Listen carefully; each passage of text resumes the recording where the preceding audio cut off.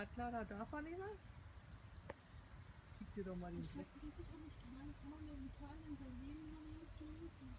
Ich meine, es ist auch Stress für den, das jetzt machen zu müssen, anstatt sich einfach draußen hinzusetzen, den hochzulegen und sagen, das ja, kann er ja scheiße. nicht. Der hat ja kein Geld, der hat ja nicht mal einen Gartenstuhl. Wo soll der sich hinsetzen? Nein, seine Müllhalde. Plastikstuhl von drinnen nach draußen. Wird es nie drin bequem. Teppich nicht. Ja, das ist.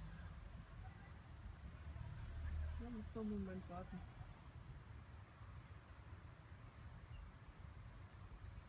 Weißt du, man müsste wie so eine kleine Drohne haben und dann müsste da, wir noch diese, diese Säulen, die diese Futter